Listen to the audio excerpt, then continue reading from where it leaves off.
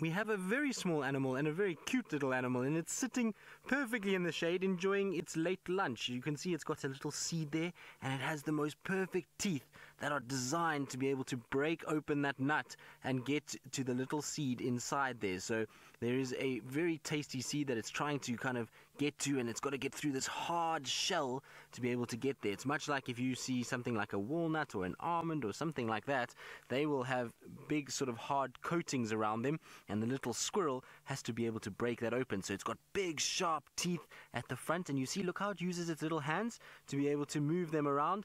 Then it can get those teeth in and get the little nut out. But can you hear it actually grinding on the nut? You can hear its teeth, that's amazing.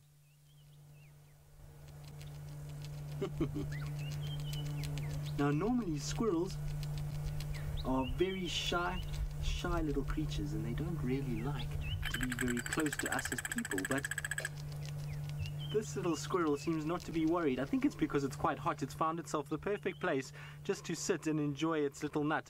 That is as cool as it gets. oh, that's amazing. Like I say, normally we don't even see these guys for more than a second or two, and this little one is just going to sit and enjoy lunch and take it very easy with us.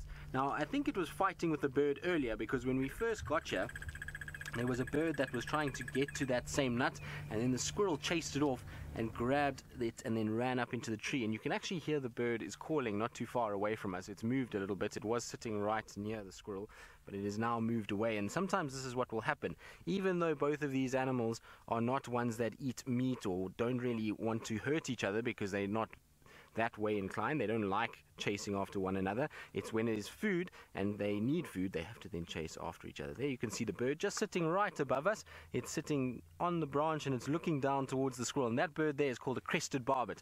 It's probably one of the most colorful, beautiful birds that we get here in Africa. It's got a beautiful yellow and red and black coloration, and I think it's a little jealous of the squirrel itself. Now, unfortunately, where it's sitting is a little bit obscured by a branch, so we can't really see it well. Frankie, yes, the African squirrels are similar to the squirrels that you get on your side of the world. This particular squirrel, which is called a tree squirrel, is a little bit smaller than the ones you see there. I think you guys will see the red squirrel and maybe even the big grey squirrels, but these ones here are much, much, much smaller, maybe half the size of the squirrels that you see there. And this is a fully grown individual. It's a little male that we've got sitting up here, and I know that because I can just see him with his legs open, and that's how we tell. So it's a little bit easy because squirrels, well, they have rather large man parts.